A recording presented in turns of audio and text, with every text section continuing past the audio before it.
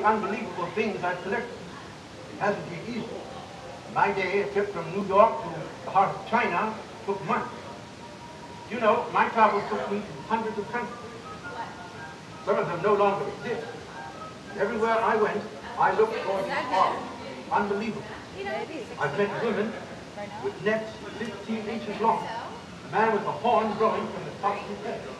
Why, I've uncovered wonderful works of art created from the most unlikely material. Many of these are on display in this show. So please, come in, have a look around, and then ask yourself if you believe it or not.